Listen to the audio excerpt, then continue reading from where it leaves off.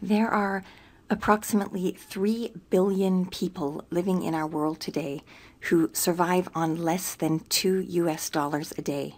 And as a result of this, we have a cycle of malnutrition, especially amongst our young children. At present, there are about 160 million children under the age of five who are malnourished in our world. And these are children who are mostly living in developing parts of the world, in Asia, in Africa, um, parts of Latin America. And this cycle of malnutrition is what I'd like to, to go through today. So, malnutrition one of the one of the biggest concerns that we have when we have a child who's experiencing malnutrition is the fact that that child's immune system is going to be compromised and that means that that child is going to be less likely to be able to fight off diseases. So, a compromised immune system is going to lead to an increase in both the duration and the number of diseases that that child experiences growing up. Another thing that malnutrition does is that it inhibits or it slows down both the growth, the physical growth of a child.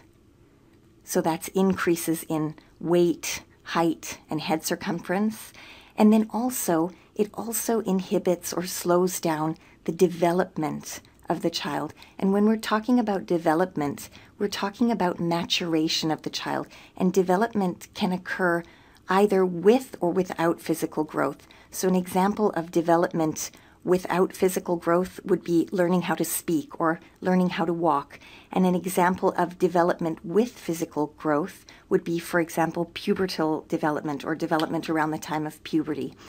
So, all of these things delays in growth, delays in development, and an increase in the number and the severity of diseases experienced by the child, all of these things are going to lead to an overall decrease in the lifetime productivity of that child. That child is less likely to be a highly functioning member of the society in which that child lives because of the fact that they're small, that they're unable or less able to learn effectively, um, and also that they're often ill.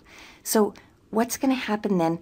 Obviously, children grow up, and what happens then when you have widespread malnutrition is that this decreased productivity becomes a characteristic of all of the children who are becoming the adults within a society. And that's going to lead to sort of a decrease in the country's, oh, sorry, in the country's development.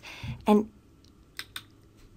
decrease in country, I'll just write countrywide development well, the first sort of side effect or symptom of that is going to be widespread poverty. We're going to have a lot, you're going to see a lot of poverty. And of course, one of the sequelae or the follow ons of widespread spread poverty is, of course, malnutrition in children. And so you can see that this is a self perpetuating cycle. We have malnutrition in many children around the world, leading to delayed growth or, or st- stunted, restricted growth and restricted development, decreases in the child's ability to, to battle disease, leading to increased illness. All of these things contributing to decreased productivity of the child, and that is going to lead to decreased productivity of the country, widespread poverty, and again, malnutrition.